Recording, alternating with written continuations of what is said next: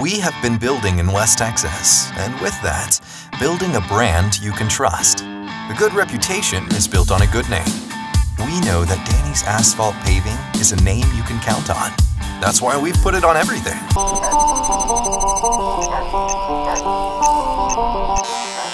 Well, that's not exactly what we meant.